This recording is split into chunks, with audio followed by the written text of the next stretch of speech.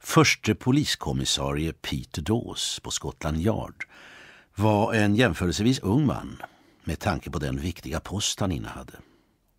Hans avdelning stoltserade med, Peter själv talade mycket lite om sina bedrifter, att Peter inte en enda gång hade misslyckats när han väl fått upp ett spår. Peter var slätrakad, lätt gråhårig vid tinningarna och såg ungdomlig ut. Han hade en filosofisk syn på brott och brottslingar och varken förfasade sig över de förra eller hyste agg till de senare.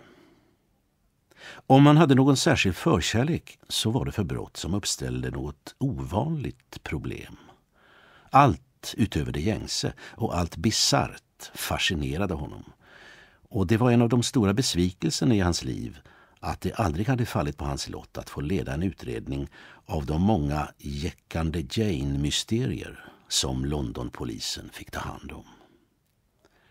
Det var efter händelsen hemma hos Lord Claythorpe som Peter Dawes fick fria händer att avslöja och gripa denna kvinnliga brottsling. Han insåg att det var av största vikt att han var fördomsfri och obunden av de många och ofta motsägande ledtrådar som alla som varit utsatta för jäckande Janes stölder envisades med att diskutera med honom. Efter en undersökning av Lord Claythorpe-mysteriet återvände Peter till Scotland Yard och rapporterade till polischefen. Så vitt jag förstår började den här kvinnans operationer för ungefär ett år sedan. Hon har inte bestulit vanliga människor som brukar utsättas för sådana här brott eh, utan hela tiden bara folk med feta bankkonton.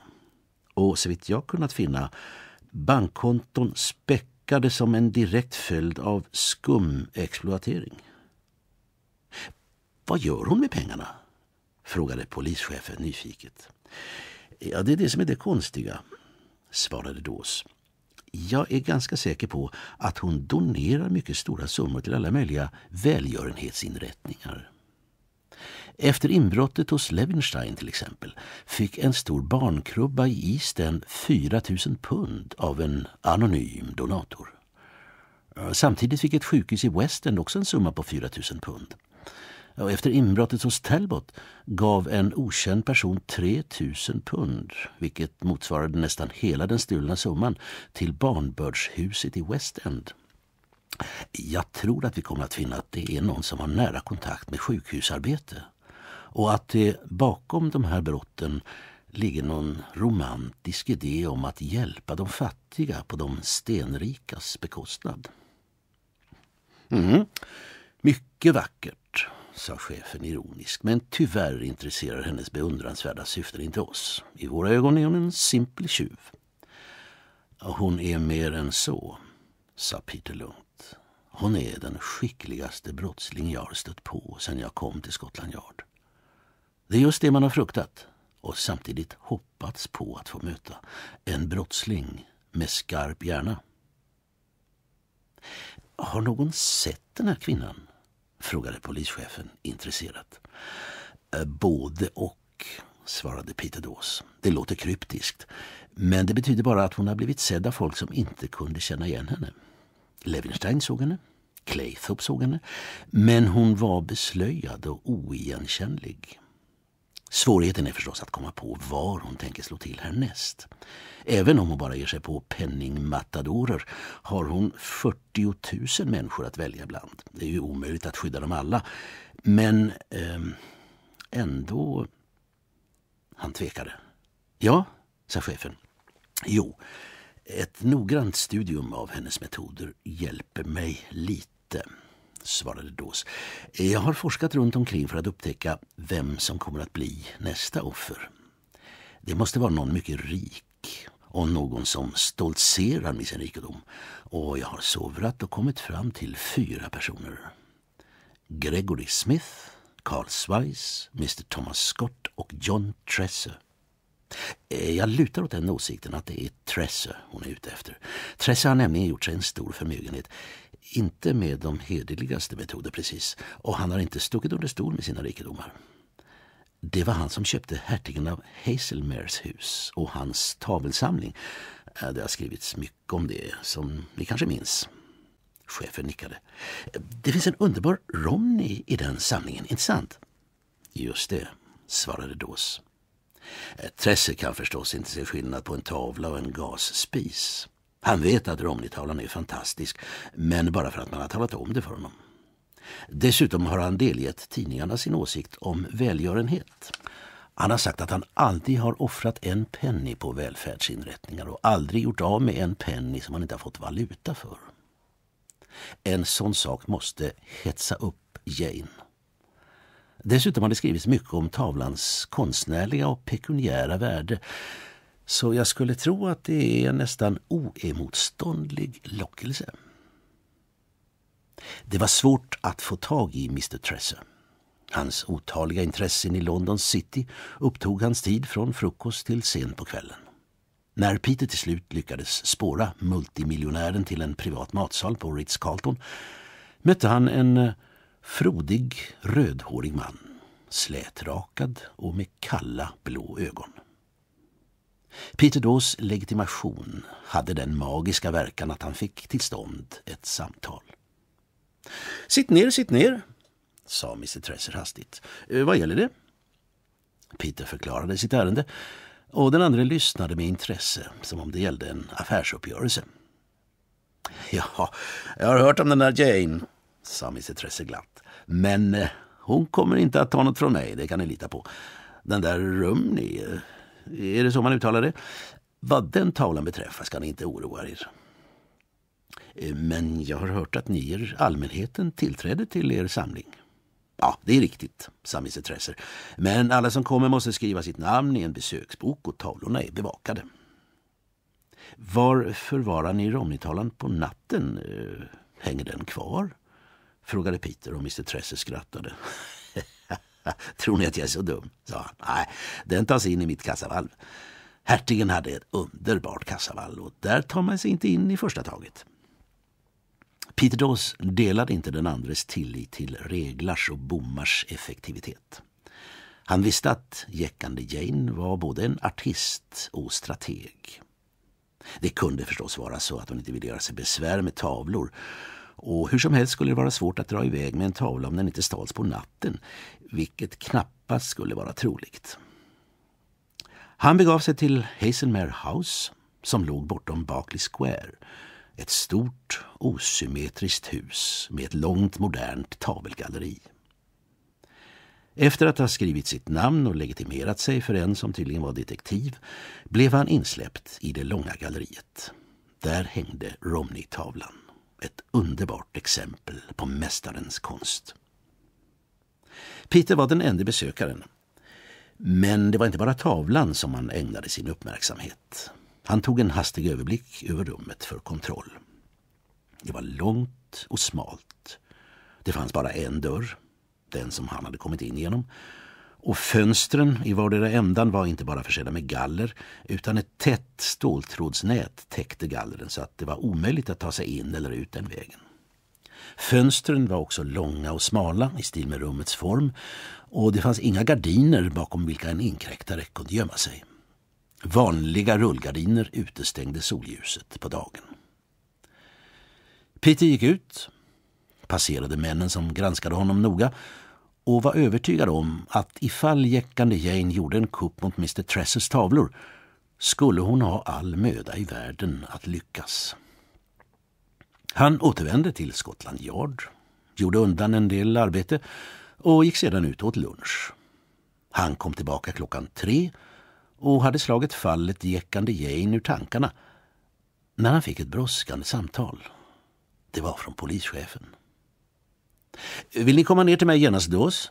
sa rösten och Peter rusade ner genom den långa korridoren till polischefens arbetsrum.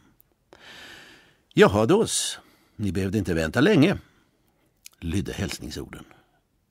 Ehm, vad menar chefen? sa Peter. Jag menar att den värdefulla Romney-tavlan är stulen, sa polischefen. Och Peter kunde bara stirra på honom. Mm, när hände det? För en timme sedan. Det är bäst ni åker ner till Barclay Square och forskar i saken genast. Två minuter senare nosade sig Peters lilla tvåsitsiga bil fram genom trafiken Och inom tio minuter stod han i det stora husets hall och frågade ut de upprörda vaktmästarna. Alla fakta var enkla efter vad han fick höra.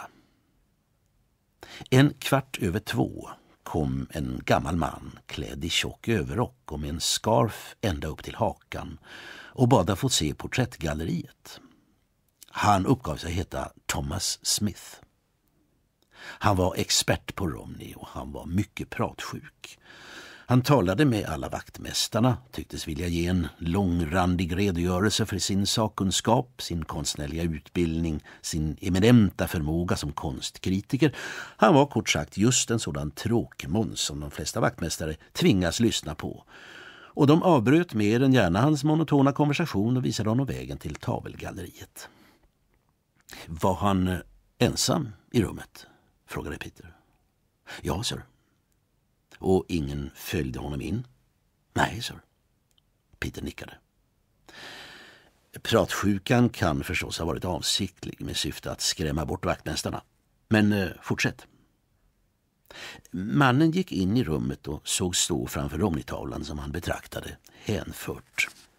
Vaktmästarna som såg honom svor på att tavlan satt i sin ram då. Den hängde i ögonhöjd, det vill säga över kanten på ramen var ungefär två meter från golvet. Nästan genast efter det att vaktmästarna hade tittat in kom den gamle mannen ut och pratade för sig själv om det utsökta konstverket. När han lämnade rummet och kom ut i yttre hallen kom en liten flicka in och bad också att få gå in i galleriet. Hon skrev in sig i besöksboken som Ellen Cole. Hurdan var hon? sa Peter. Ja, rena barnet, sa vaktmästaren vagt. En uh, liten flicka. Tydligen gick den lilla flickan in i galleriet när gubben kom ut. Han vände sig om och såg på henne och fortsatte sedan genom hallen och ut genom dörren. Men innan han kom till dörren drog han upp en näsduk ur fickan och med den följde ett halvt dussin silverslantar som spriddes ut på marmorgolvet. Vaktmästarna hjälpte honom att plocka upp pengarna. Han tackade dem, tydligen alltjämt upptagen av tavlan för han pratade för sig själv hela tiden och försvann så till slut. Han hade knappt lämnat huset förrän den lilla flickan kom ut och frågade Vilken tavla är Romney? Eh, det är den mitt i rummet, sa de. Mitt emot dörren. Men det finns ingen tavla där, sa hon. Bara en tom ram och en liten konstig svart lapp med fyra kvadrater. Vaktmästarna rusade in i rummet och tavlan var mycket riktigt försvunnen.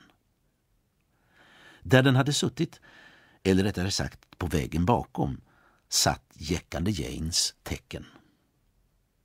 Vaktmästarna tappade tydligen inte huvudet. En gick direkt till telefonen och ringde närmaste polisstation. En annan gick ut för att leta efter den gamle mannen. Men alla försök att hitta honom var förgäves. Trafikkonstapeln i hörnet av Barclay Square hade sett honom stiga in i en taxi och åka iväg men han hade inte brytt sig om att titta på bilnumret. Och den lilla flickan då? frågade Peter. Hon gav sig iväg, sa vaktmästaren. Hon var här en stund och sen gick hon igen. Hennes adress står i besöksboken. Hon kunde absolut inte ha haft tavlan med sig. Det är uteslutet sa vaktmästaren med eftertryck. Hon var lätt sommarklädd och hade en liten kort kjol. Hon kunde omöjligt gömma en så stor tavla. Peter gick in för att syna ramen. Tavlan hade skurits ut precis intill kanterna. Han såg sig omkring, granskade rummet noga men upptäckte ingenting utom en lång vit pappersklämma mitt framför ramen. Det var ett gem av det slag som användes i bankerna till att hålla ihop sedlar. Det fanns ingen annan ledtråd. Mr Tresser tog förlusten mycket lugnt, ända tills tidningarna kom med detaljer om stölden. Det var först då han tycktes bli imponerad av tavlans värde och erbjöd belöning åt den som återfann den. Den stulna tavlan blev det främsta samtalsämnet på klubbar och i societetskretsar. Den upptog långa spalter i tidningarna och sysselsatte fantasin hos några av de mest skarpsinniga unga män inom amatördetektivbranschen. Alla kriminalexperter samlades på brottsplatsen och deras genomtänkta och sinnrika teorier gav de spekulativa läsarna ett intressant samtalsämne. Försedd med två adresser från besöksboken, den gamle mannens adress och flickans, gick Peter då samma eftermiddag för att göra en personlig efterforskning. Bara för att finna att varken den lärde Mr Smith eller den oskyldiga flickan var känd på de adresser som de uppgivit. Peter avlämnade rapport till polischefen med en mycket bestämd åsikt om hur stölden hade begåtts. Eh, den gamle mannen tjänade som täckmantel, sa han. Han var där för att väcka misstankar och få vaktmästaren att hålla ett öga på honom. Han tråkade avsiktligt ut alla med sin långrandiga utläggning om konst för att bli lämnad i fred. När han gick in i galleriet visste han att hans voluminösa person skulle få vaktmästarna att uppmärksamma honom. Så kom han ut. Det var mycket skickligt upplagt. Just när flickan kom in. Det var en genialisk plan. Den gamle mannen tappade pengarna för att dra all uppmärksamhet till sig. Och det var antagligen just då som tavlan skars ut ur ramen och gömdes. Var den gömdes och hur flickan fick ut den är ett mysterium. Vaktmästaren är absolut säker på att hon inte kunde ha gömt den under kläderna. Och jag har gjort experiment med en tjock målarduk tillskuren i samma format som tavlan och det verkar helt klart att tavlan skulle ha buktat ut så att de inte kunde ha undgått att märka det. Men eh, vem var flickan? Jackande Jane? sa Peter tveklöst. Omöjligt. Peter log. Det är den lättaste sak i världen för en ung flicka att göra så att hon ser yngre ut. Kort klänning och håret i flätor, simsalabim. Jackande Jane är oerhört slipad. Vänta lite, sa polischefen. Kan hon ha lämnat ut den genom fönstret till någon annan? Peter skakade på huvudet. Eh, jag har tänkt på det, sa han. Men fönstren var stängda och det sitter ståltrådsnät för dem så det kan hon absolut inte ha gjort. Nej, hon måste på något sätt ha fått ut tavlan mitt framför näsan på vaktmästarna. Sen gick hon ut och sa helt oskyldigt att hon inte kunde hitta Romney-tavlan. Naturligtvis blev det vild rusning in i galleriet. I cirka tre minuter tog ingen notis om den lilla flickan. Eh, tror ni att en av vaktmästarna var i maskopi med henne? Ja, det är en möjlighet, sa Peter, men eh, alla har mycket goda vitsord. De är alla gifta och ingen har den minsta fläck på sig. Och, och, och vad ska hon göra med tavlan? Hon kan ju inte göra sig av med den. Hon är ute efter belöningen, sa Peter med ett leende. Eh, det här har verkligen satt mig på ett hårt prov, chefen. Det är ett som är säkert. Jag har inte fått tag i Jane än, men eh, jag lever på hoppet. Ute efter belöningen, upprepade polischefen. Den är ju mycket stor, ja. Men ni kommer väl att gripa henne när hon överlämnar tavlan? Aldrig i livet, svarade Peter och tog ur fickan upp ett telegram som han la på bordet framför den andra. Det lydde Romney-tavlan kommer att lämnas tillbaka på villkor att Mr Tresser garanterar att betala 5 000 pund till Great Penton Streets barnsjukhus. När han har undertecknat en överenskommelse att betala den summan kommer tavlan att återlämnas. Undertecknat Jane. Vad sa Tresser om det? Tresser går med på det, svarade Peter. Och han har bekräftat det i ett brev till Great Penton Streets barnsjukhus. Vi har tillkännagett hans samtycke vitt och brett i tidningarna. Klockan tre samma eftermiddag kom ett nytt telegram. Den här gången adresserat till Peter Dawes. Det retade honom att flickan var så välinformerad att hon visste att han hade hand om fallet. Jag kommer att återlämna tavlan klockan åtta ikväll. Var i tavelgalleriet och vidta alla försiktighetsmått. Låt mig inte undkomma den här gången. Undertecknat Jäckande Jane. Telegrammet var inlämnat på huvudpostkontoret. Peter Dawes försummade inga försiktighetsmått. Han hade faktiskt inga förhoppningar om att kunna gripa Jäckande Jane men det skulle inte vara hans fel om hon inte sattes bakom lås och bom. En liten grupp samlades i den dunkla hallen i Mr Tresses hus. Dawes och två kriminalpoliser. Mr Tressor själv, han blossade på en stor cigarr och verkade den mest oberörda av de närvarande. De tre vaktmästarna och en representant för Great Penton Streets barnsjukhus var där. Eh, tror ni att hon kommer personligen? frågade Tressor. Eh, jag skulle gärna vilja träffa den där Jane. Hon har verkligen överlistat mig. Men eh, jag hyser ingen illvilja mot henne. Jag har en specialpolisstyrka till hands, sa Peter. Och vägarna är bevakade. Men eh, tyvärr kan jag inte lova er något säkert. Hon är hal som en ål. Men eh, budet, började Tresser. Peter skakade på huvudet. Det kan vara ett bud från en stadsbuskår men jag har vidtagit säkerhetsåtgärder här också. Alla stadsbuskontor har uppmanats att varsko Scotland Yard ifall någon kommer till dem med ett paket adresserat hit. Åtta slag dånade från en kyrka i närheten. Men jäckande Jane hade ännu inte visat sig. Fem minuter senare ringde det på dörren och Peter Dawes öppnade. Det var ett telegrambud. Peter tog det brungula kuvertet, slet upp det, läste noga igenom telegrammet och skrattade. Ett uppgivet, beundrande skratt. Hon har lyckats igen, sa han. Vad menar ni? frågade Tresser. Följ med mig, sa Peter. Han gick före in i tavelgalleriet. Där satt den tomma ramen på väggen och bakom den den halvt utplånade lapp som jäckande Jane hade satt fast där. Han gick bort till ett av fönstren längst bort i rummet. Tavlan är här, sa han. Den har aldrig lämnat rummet. Han lyfte handen och drog i gardinsnöret och gardinen rullade långsamt neråt. Det hördes en flämtning av häpnad från de närvarande. För fäst på gardinen, som den varit hoprullad med, satt den saknade Romney-tavlan. Ja, jag borde ha gissat det när jag såg gemet, sa Peter. Det gällde sekunderna, men det var möjligt att göra det.